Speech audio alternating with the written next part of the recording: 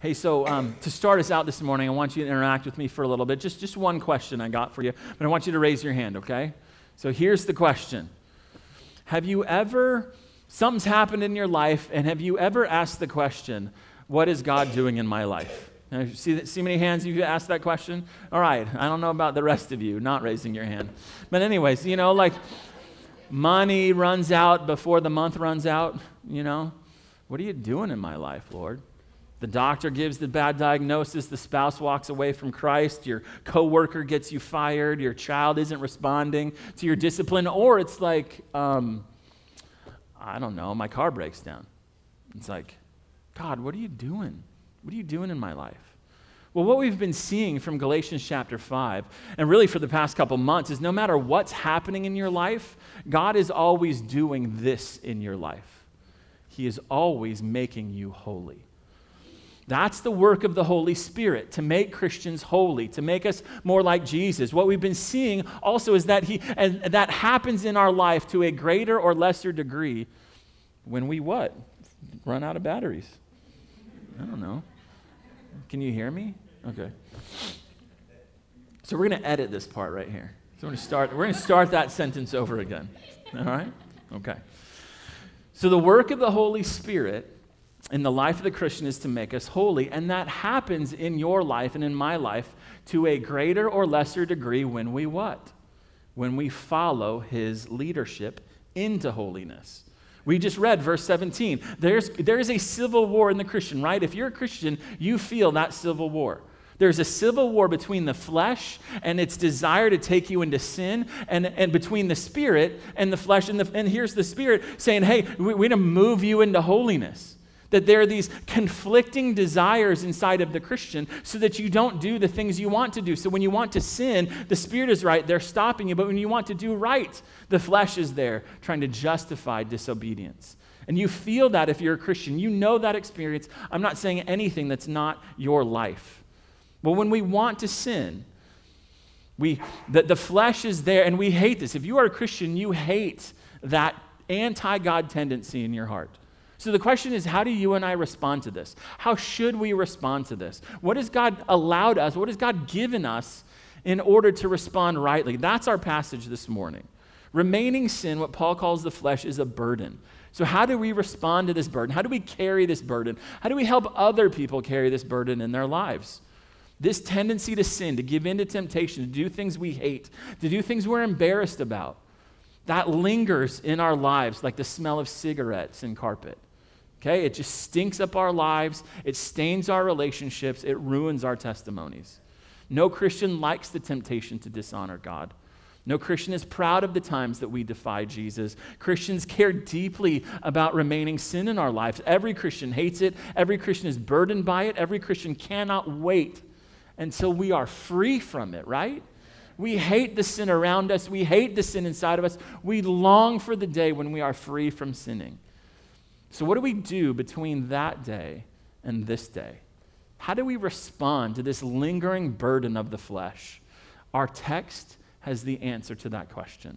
So let's jump in and take a look. What, is, what does God give us through the Apostle Paul to help us respond to this lingering burden? Verse 24, let's start there. Those who belong to Christ Jesus have crucified the flesh with its passions and desires. Notice the text. A Christian is someone who what? Now, what does it say? A Christian belongs to Christ. There's not one Christian who does not belong to Christ. To belong to Jesus is to be a Christian, is to be saved. It is, it, it, so the question to start us out this morning is Is that how you view yourself? Is that how, is that how you think about yourself? That, that Jesus owns you, that you are owned. You have no freedom to do what you want if you're a Christian. You are free to do what He wants you to do. It's His will, not yours. It's His goal, not yours. It's His ways, His words, His desires, not yours. That's what it means to be a Christian, and not one iota less than that. Now, all those who belong to Jesus, notice the text, they've accomplished something. They've done something. Did you, did you see what they did? Look at the text. Uh, and those who belong to Christ Jesus have crucified the flesh with its passions and desires. So, this is true about every single life of every single person that belongs to Christ. They have done this. Notice the text, it does not say that this is something God does. This is not something God does for them. This is not something God does to them. Look at the text. Who's the active uh, participant in the verb to crucify? It's the Christian. The Christian has decisively, actively, with resolve and finality, crucified the flesh with its cravings for wickedness, its appetite for evil, its pressure to sin. They nailed their flesh to the cross. They dealt the death blow to the, to the flesh. So, from this, we learn that you respond rightly to the flesh when point number one, you deny yourself. You actively deny yourself. Now you might be thinking, now, wait a minute, that text doesn't give me a command. It doesn't tell me to do anything. It, it tells me what I already did. True. And that is true. But what we're going to see is that while crucifying the flesh is a one time decisive act, it is also an ongoing commitment in the life of the Christian. So why must I do this if this is already if, if the flesh has already been crucified? Because even though the flesh has been crucified, it's not dead yet.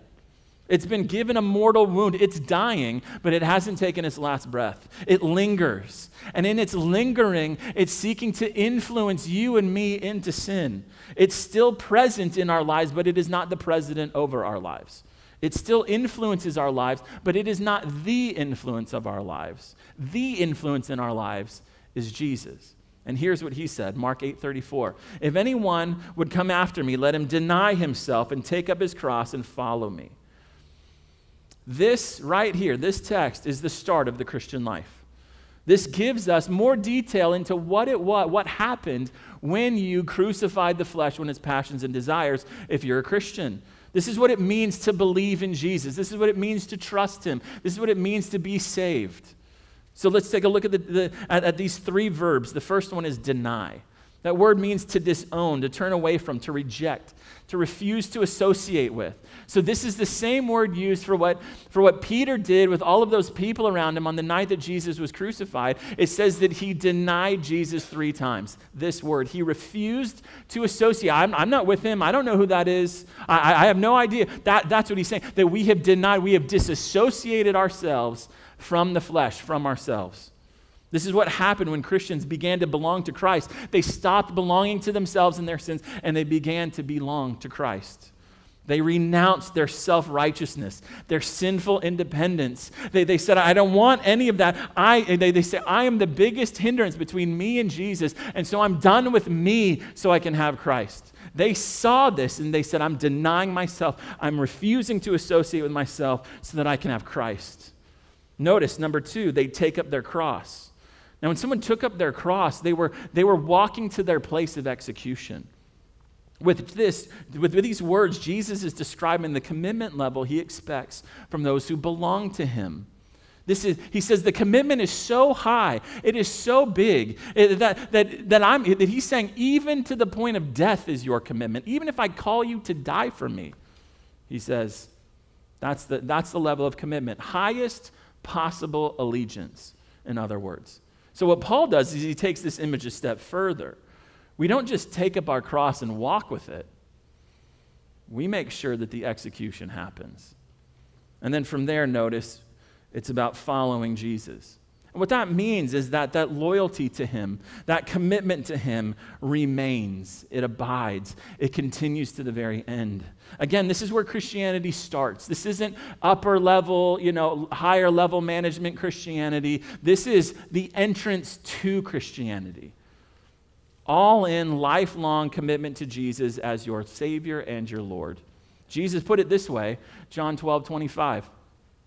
Whoever loves his life, Whoever holds on to his flesh, whoever refuses to disassociate himself from the, from the sinful uh, rebellion that he has, who, whoever loves his life, he's going to lose it. But whoever hates his life, hates his rebellion, hates his sin, in this world will keep it for a higher level of Christianity. What? We'll keep it for eternal life. The biblical theological word for what I've been describing here is repentance Like faith, repentance is a gift from God. Like faith, there is no salvation without repentance. Repentance is the crucifying of the flesh with its passions and desires. It is a decisive change of loyalty from self to Jesus, from self righteousness for supposed good works, and oh, I'm, I'm, I'm this, this good person, to humiliation for sin, to being done with myself, to being done with the person that I am in my rebellion, and surrendering to Jesus. See, if that hasn't happened in your life, if there's no repentance, if there's been no fundamental change in your life, eh, when, when it comes to your life in relation to your sin, your life in relation to who's now in charge, then hear me, please. There's no salvation there. Now, repentance, that, that may be why God has brought you here today. You be like, oh, yeah, I've been go to church, blah, blah, blah. Yeah, churchy, blah, blah, blah. But if fundamentally, at your core, there has not been a change of allegiance from you to Jesus, then, then hear me. Like I said, there's no salvation there. Now, repentance is not just a one time decisive choice, it is an ongoing lifestyle for the Christian. It is a decision that has consequences. And really, when you think about it, crucifixion is a perfect illustration for this, right? Because, I mean, when someone is crucified, they don't die instantly, they linger. I've read accounts of people lasting a week on the cross. It is a slow, painful, excruciating way to die. And in the same way, the flesh has been crucified. You have repented of your sins, but that flesh is still alive. It's still active. It's still working. It's seeking to influence you. It's trying to exert that power over your life just like it had over your life before you were saved. Then, yeah, it did rule your life. However, you dealt it a death blow at repentance. But its death is slow, right? And its death is painful and it's trying to trying to say hey listen to me hey look at me hey help me hey feed me so the goal of this point here is that you and I will not give CPR to the flesh that we will not give it food and water and medicine, that we won't try to like help it down off the, crowd, that the cross and rehabilitate it by listening to it, by giving in to its passions and desires. No, the goal is to kill it. But my concern is that we, and I say we, myself included, we don't hate sin enough to actually do much of anything about it. We've made peace with it. Like, oh, I can't be perfect, and God knows it, and so He forgives. What's the big deal? You know, that's just the way I am. I can't change you know. No. Like a million times, no. The Christian life is war on your flesh. It is war. That's the only right response to sin. Sin, which has ruined our lives, separated us from God, ruined other people, harmed them, put Jesus on the cross, and will be punished for, for, eternally, for eternity in hell. That, that sin is not our friend. That sin is not something to make peace with, to negotiate with, sign a treaty with that sin in our lives, in your life, in my life, it is there for us to fight. Okay, great, Pastor. Well, how do I do that? Great, you know, deny myself. Well, how do I do it? What does that look like practically? Glad you asked. I'm just going to give you seven quick tips. Seven quick tips to how to fight your sin, how to deny yourself, how to, how to, how to make war against the flesh. Number one, recognize the sin in your life. See, what happens is that we, we, we have these moments where God puts his mirror up, the mirror of his word up to our life, and we see, uh oh, I've got that disobedience booger on my lip, but oh, whatever, I'm fine. And we walk away. Like we don't, we, we don't, we don't stop and, and we don't recognize it. We don't stop long enough for us to really notice and go, wait a minute, this is bad. I hear it every week. I, I, when, when I talk to them, like, oh, it was the first service. Oh, that was so convicting, Pastor. I, I say thank you and praise God, but the goal is not just to hear that and to recognize, okay, feel the conviction, but it is to recognize it. And then point number two, it's to hate the sin when you find it. It's to hate it. It's to despise it. It's to let it break you. It's to, like, I hate this. Why? Why is this in my life still? There should be a holy hatred for sin in the life of Christians. We just, we just don't care about sin. It's like, oh, what's the big deal? Grace, grace, grace, grace. Grace teaches us to say no to ungodliness, Titus 2:12. We should hate our sin. Number three, we should mourn over our sin. Sh- it should break our hearts. Like, why did I say that to her? Why did I do that again? Like, like that should cause us pain. But number four, that should drive us to Christ. That should remind us that He died for every single sin. He died for that sin. Instead of staying away from him, it should draw us to him. He's not sitting there, some, some judge sitting there like, you can't do this, you keep failing, aren't you awful? Like over and over and over again. He says, No, come to me, all who are burdened, and I will give you rest for your souls. He says, my, my yoke is easy, my burden is light. I will forgive your sins, I will cleanse you. I came for sinners. That's what we want, that's what we need. That, that, that, that's it. So even in this moment right now, that may be the reason you're here today. That may be the reason you're here right now and not hear anything else. You may need to hear that. Go to Christ, flee to Christ. Go to Him today. Go to Him fast. Stop listening to me and pray to Him now. Number five, to fight sin in our lives. There are these means of grace, these ways that God communicates and gives us grace. One is reading your Bible. Jesus said, Sanctify them in the truth. Your word is truth. That, that sanctification comes from God's word. So that's why I preach the scriptures. That's why we have Bible reading plans. Like it's so that you'll be in the Bible, so that you'll be studying the scriptures, so that you have the tools you need, the sword of the Spirit to fight.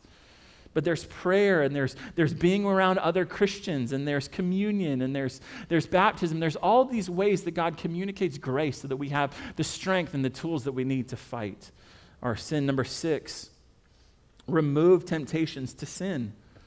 Remove temptations. Like, uh, that's kind of like, duh, of course. Well, Romans 13, 14 says, make no provision for the flesh. Don't even give it an opportunity to sin. So, so don't put yourself in harm's way. You know, don't, don't go to that place. Don't, don't talk to that person. Don't, don't go to the place that's going to stir up those desires for temptation. Like, don't even go to it. Just, just anything that stirs up the passions and desires, just avoid it. Don't give it an opportunity, Romans 13, 14. And then number seven, attack a specific sin. Number seven, attack a specific sin. 1 Peter 2.11 says, abstain from the lust that wage war against your soul. Abstain from it. Stop it. So, so what does that look like in our lives?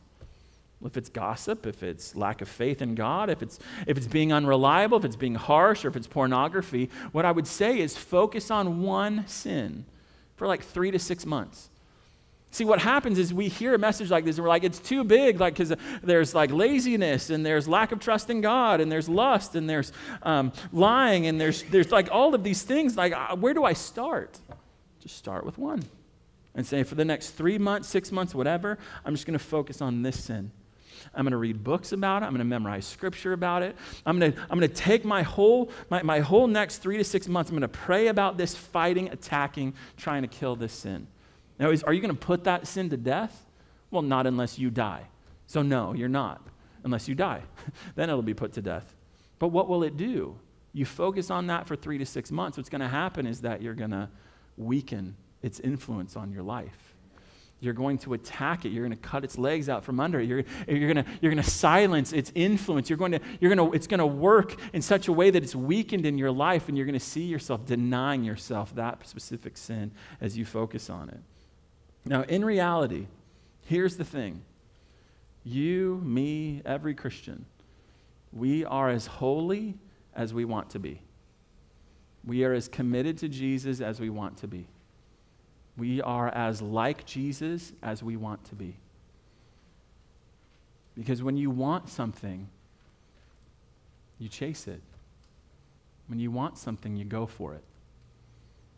And so, in order for us to, to see Christ's likeness, in order for us to follow the, the, the leadership of the Spirit in our lives, we have to want His leadership.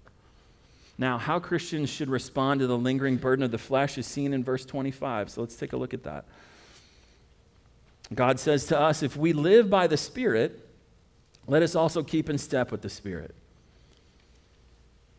Now, that, that first phrase, so, so what we have here is indicative and imperative. If this is what God has accomplished, then this is how we should live. They're both together, they're not separated.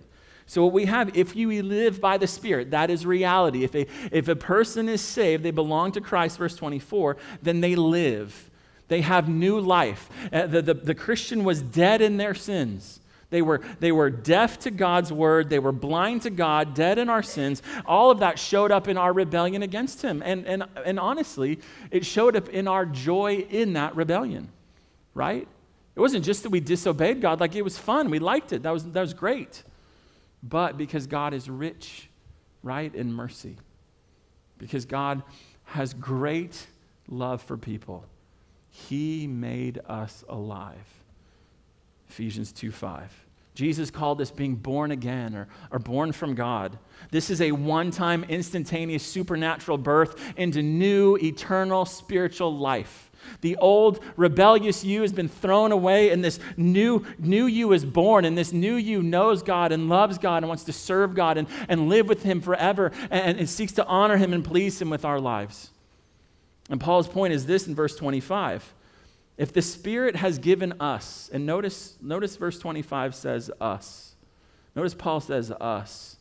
That's because he's not on top of Holiness Mountain, looking down on all the sinful little peons, going, You guys should all be more like me.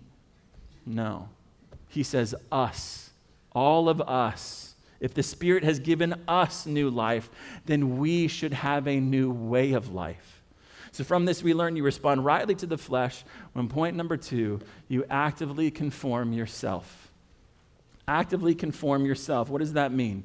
It means this if you are a Christian, you are to conform yourself to His desires for our lives. His desire is our holiness, our sanctification, our Christ likeness, our change. So we conform our lives. You say, okay, this is what he wants. I'm going to conform my life to that. So as you, uh, we've been seeing throughout Galatians 5, growth in the Christian life is a cooperative effort where the Spirit leads us and we follow his lead. So notice those words in verse 25 keep in step. Those words are used to describe soldiers who march in lockstep with each other. Romans 4, 12 translates this word walk in the footsteps of. So it's, so it's like when you were a little kid and you're walking on the beach and you and your, your dad or mom was walking in front of you and you're walking in their footsteps. That that's the idea. That you go where he goes, that you follow his leadership. That's what this means. So over time, the Christian is denying himself, denying herself our sin, and in so doing, we are conforming ourselves to what the Spirit wants for our lives. And what does He want for our lives? He wants to make us more like Jesus, molding our lives, shaping our lives to look more and more like Him and less and less like us. And how does He do that? He does that by leading, encouraging, convicting us to mold and shape our lives after the pattern the Bible sets for our lives. So, what does that look like? He gives us new life, He motivates a new lifestyle. He encourages obedience, we choose to obey. He convicts of sin, we choose to repent. He leads, we choose to follow. If we don't, we don't lose our salvation. It's not that. If we don't follow his leadership, we don't grow. Instead, we grieve him. He's leading us, He's saying, Go in this direction. And if you're a leader, you know what it's like. You're leading someone in a direction and they don't follow your direction. What, what, what do you do? You grieve on the inside. Well, the Spirit's the same way. He's leading us into obedience, and when we, when we don't follow His leadership, that grieves Him. Because what we've done in that moment is we've quenched Him. His influence in our life, we've quenched that. We've poured cold water on the fire uh, of the Spirit in our lives, and as a result of that, we quench the Spirit so that we don't follow His leadership. As the Holy Spirit, he, His work in our life is to make us like Jesus. And I want you to see how He does that. So we, so we see it here. We've got indicative imperative. Here's what he does, here's our response. Well, let's take a look at 1 Peter chapter 1. How does this happen in our lives? This is the Christian life right here, okay? He makes us holy, and as obedient children, do not be conformed to the passions of your former ignorance. So here you were before Jesus, ignorant of, of the life of God, ignorant of what God wants you to do. Don't conform your life to the things that you were once ignorant of. Instead, as he who called you is holy, so also be holy in all your conduct. Conform your life to his holiness, since it's written, You shall be holy, for I am holy. So notice how this works God is holy, we're his kids. Instead of squeezing your life into the mold of your sinful desires, squeeze your life into the mold of God's holiness. Confirm your life uh, conform your life uh, into who He is and what He does. And so, what does that mean? Okay, so need you to pay attention. It's very complicated. Okay, this is a very complicated moment. What does this mean? Conform my life to His desires, blah, blah, blah. Like, what is that? He forgives, so we're to forgive. Say that again. He's faithful, so we're to be faithful. He's good, so we're to do good. He's holy, so we avoid sin. He's truthful, so we tell the truth. You see how that works? His character becomes the pattern that we squeeze and mold or chisel our lives into. Now, here's the thing I'm convinced most Christians, again, including myself, we don't grow as much as we can and as much as we should because we're waiting for God to change us. Change me, God. Like, we're waiting for Him to put us on like a jacket and then He's going to obey for us. When what this is how that's not how it works. This is how it works. He is inside of you, and he in the text of scripture is encouraging you, obey, obey, follow me, do what I say. But what happens is we ignore his lead, and we think we have a, a good reason for it. Because here's what happens we, we hear a sermon, read the Bible, or we just have this sense like, I need to change something about me, right? But we don't. So we have this thought, I should pray or read my Bible right when I wake up, but we grab our phones. We say, I'm not going to respond in anger. I'm not going to go to that website. But we feel the conviction, but we quench the spirit and we sin anyway. We treat sanctification like cruise control. I press the button, I sit back, and the spirit just drives me into Christ likeness. The goal is as little effort as possible because my effort would be legalism.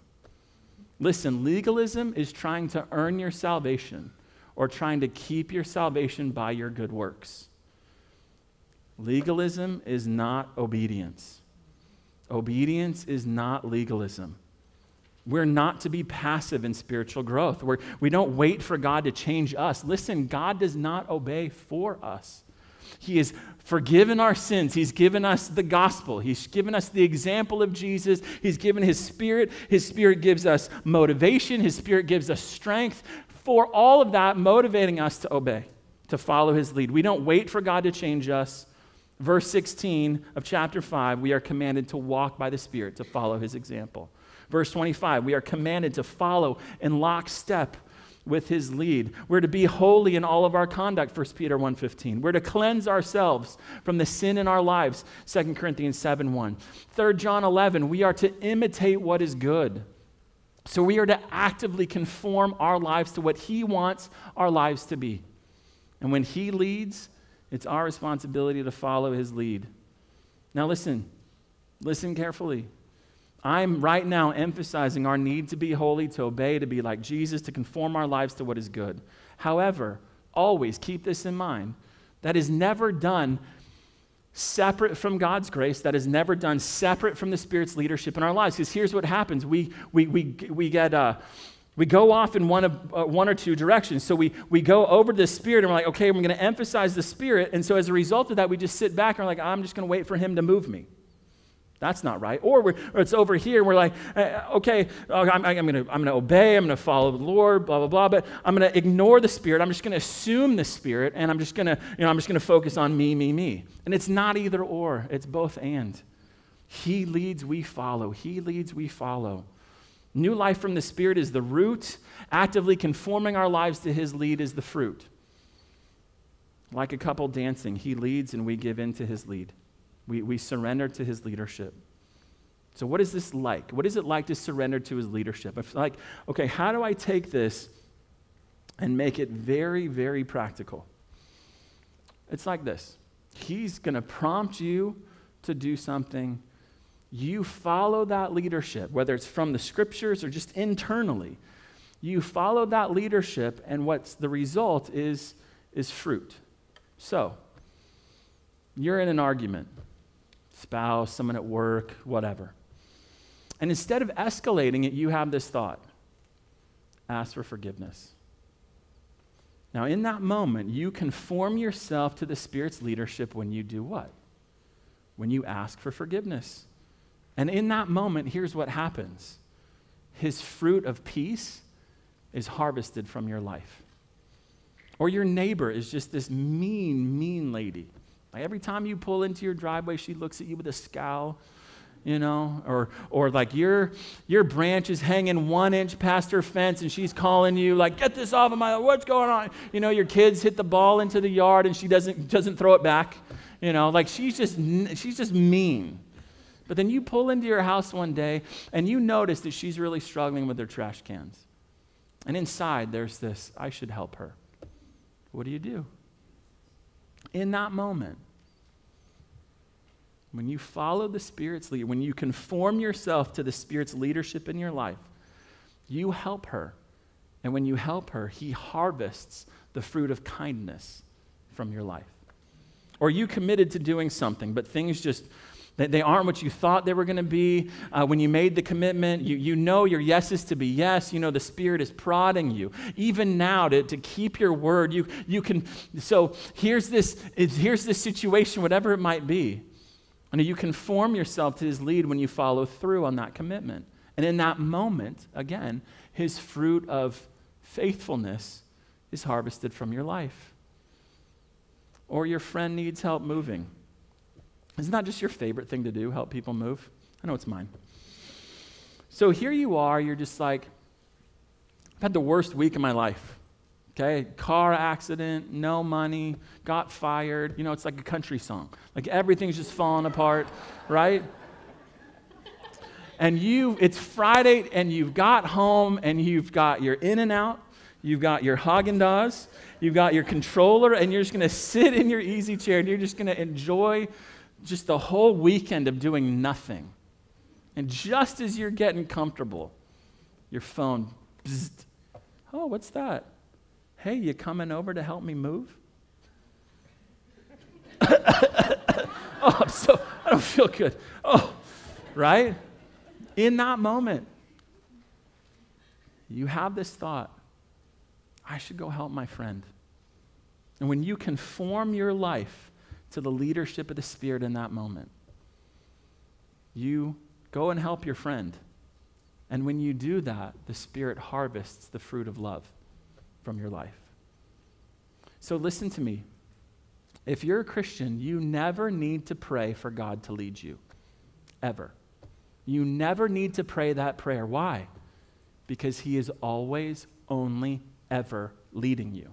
He is constantly leading you, and He is constantly leading you into holiness. Romans 8 14, if you are a child of God, you are led by the Spirit. He started leading you the moment you were saved, He will continue leading you until the moment that you die.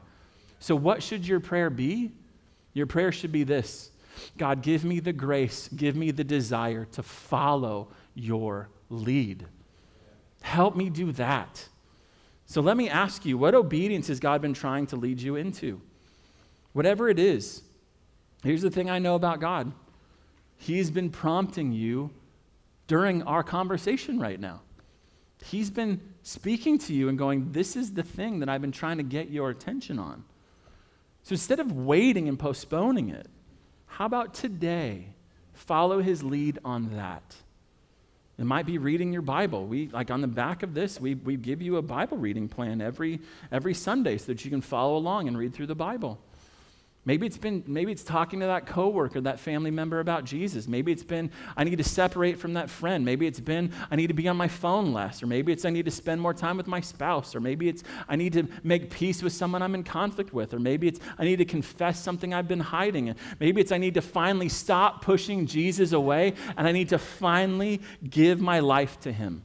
Maybe that's what it is. Maybe this moment right now, you say, I'm gonna, I'm done pushing, pushing against the conviction, pushing against from this knowledge that I have to surrender my life to Jesus, and today I repent. Maybe that's how you need to respond. Whatever it is.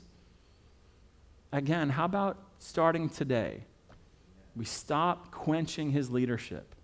And instead, we respond immediately to his promptings to obey his word. And we do that by conforming our lives to his will and not the will of the flesh. Well, what would that look like in specific everyday circumstances? That's verse 26 all the way to 610. What Paul does is he says, okay, here's what this keeping in step with the Spirit will look like in specific situations. Now, notice verse 26. We're just going to look at this one today. What will it look like to keep in step with the Spirit in our lives? Verse 26 Let us not become conceited, provoking one another, envying one another. So we learned in verse 15 of chapter 5 the Galatian churches were at war. They were either at war within the churches or they were at war between the churches. So they're fighting each other. So one or the other, they're biting, devouring, and they're on the verge of consuming one another, which means their churches are going to close down if they don't, if they don't stop fighting each other. So here's the thing as we take a step back, if the primary manifestation of the Spirit, verse 22, is love, and what we saw was love is making other people a priority, then that probably means that the primary manifestation of the flesh is pride, making me the priority. Remember, the fruit of the Spirit, these are not private mystical experiences. These are community virtues. The fruit of the Spirit is how we are to treat each other as Christians in our homes, at our jobs, within our families and friends, and, and especially at our church. This is how we're supposed to interact. I mean, notice the two one another's in verse 26. So, what Paul is saying here is he's not talking about like this could ruin your life. He's saying this could ruin the community of people that you interact with if you let pride enter your relationships verses 19 and 20. When, when we follow the leadership of the flesh, notice what it produces it leads to enmity, strife, jealousy, fits of anger, rivalries, dissensions, divisions. So, from this, we learn that you are following the Spirit when point number three, you actively humble yourself. Actively humble yourself. To humble yourself is to work humility into your heart and life. Humility is to have a realistic view of yourself, your blessings, and your abilities not in light of other people. That produces pride or it produces despair. It is a realistic view of yourself in light of God. Okay, and like everything else we've seen today, we're commanded to do this. Humble yourself. That's a quote from two, two scriptures. James 4:10, humble yourself before the Lord. You don't want to wait for God to humble you, in other words. He's very good at that. So before we get there, the scriptures say, hey, humble yourself. 1 Peter 5 6, humble yourselves under the mighty hand of God. Micah 6 8, God wants us to walk humbly with him. So notice, Paul warns them, and notice in verse 26, he also warns himself. He's not on top of Holiness Mountain. Everybody's standing in awe of his greatness. Follow my holiness lead, but you should all be like me.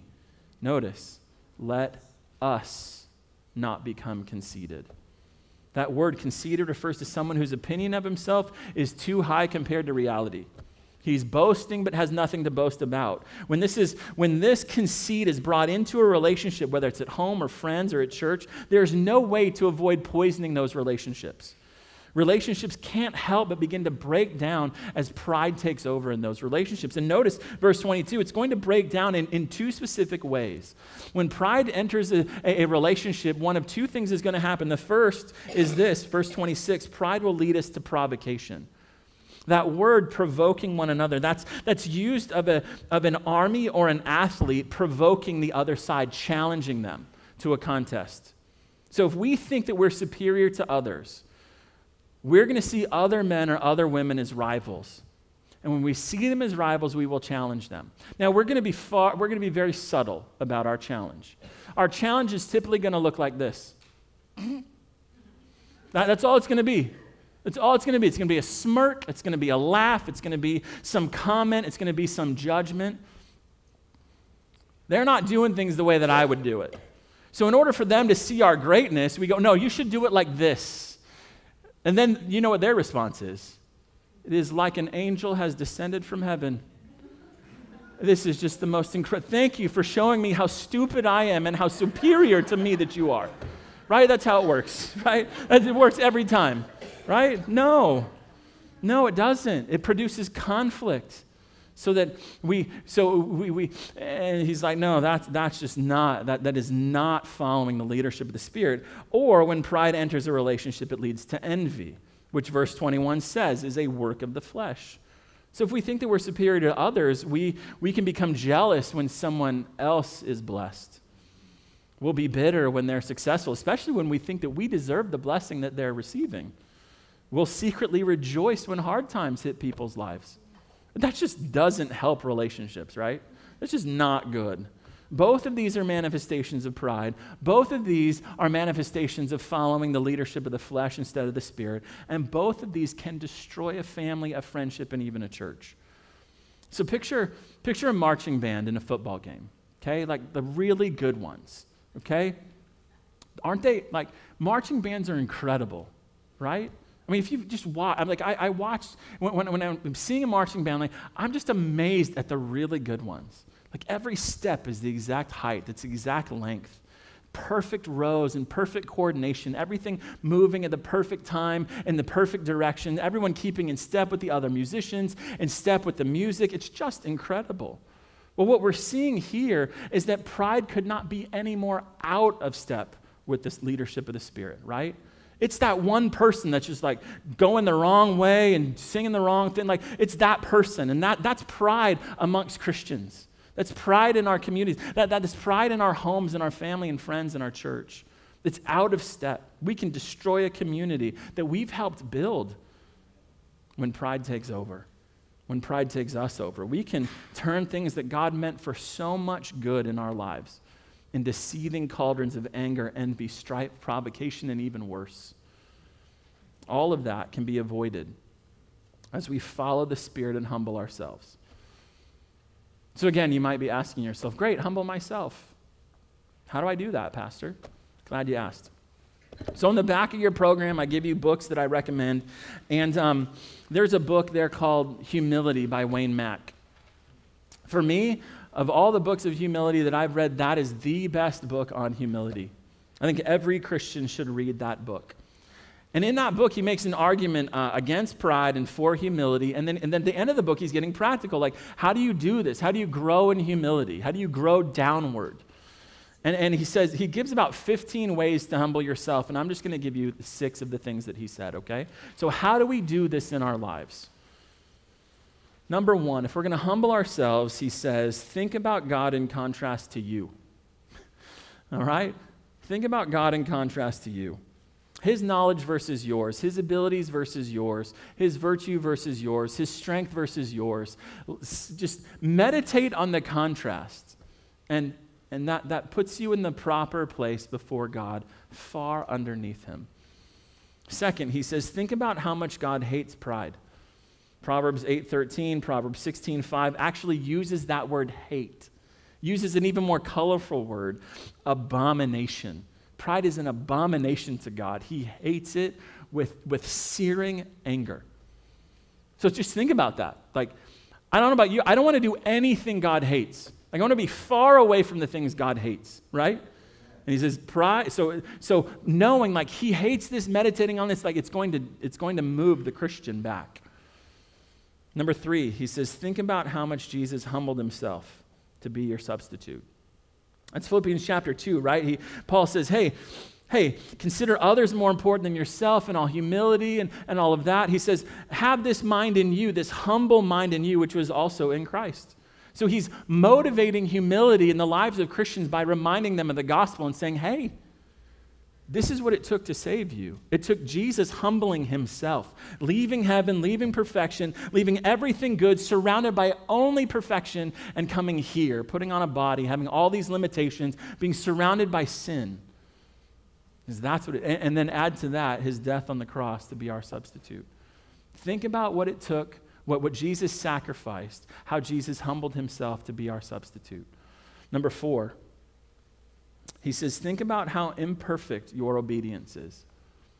He says, Think about how imperfect your obedience is, and yet God still calls you his own. He still, you still belong to him.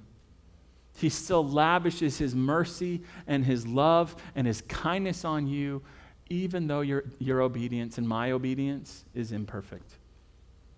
Fifth, to grow in, in, in humbling ourselves he says, think about the consequences of pride in your life. Think about how pride has distanced you from people that you love. Think about how pride has harmed you at your job or at your school. Think about how, how pride has harmed other people. Sinful, prideful decisions have hurt relationships or hurt people. Think about the, the, the, the devastating consequences of your own pride in your own life. And finally, he says, to humble yourself, to learn how to humble yourself, he says, think about this every good thing that you've ever had. Every blessing, every ability, every time that you were in the right place at the right time, every good connection is a gift from him. James 1:17 Every good and perfect gift comes from him. So when you take a look at your life and like look at all these great things, look at all my accomplishments. You didn't accomplish anything. God accomplished it through you and with you to bless you. All of this puts a proper perspective on who we are before God. Now, the flesh, it's going to work against that. It's going to fight against that. The flesh, with its hatred for God, is going to linger in your life, Christian. It'll seek to rule over your life. It'll tempt, to, tempt you to rebel against God and make it look outstanding. It loves to make rebellion look so enticing that you, you, you can't help but do it. It'll encourage pride and other things that can ruin relationships. So, how should you respond? We respond by denying yourself. You respond by choosing to conform your life to the Spirit's lead, and you respond by humbling yourself. All of this is not, it cannot, and it should not be done in your own strength. It is only done as the Spirit is working in your life. It is only done as we remember what Jesus has already done for us to save us.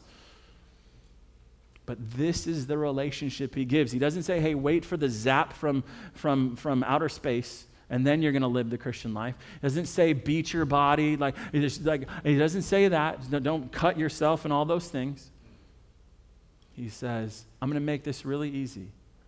I'm going to put my spirit within you. He's going to encourage you to obey. He's going to encourage you to live for me. He's going to encourage you to love like me and, and speak like me and be faithful like me. So just follow his leadership. That is the Christian life. So let's live it together. Okay? Let's pray.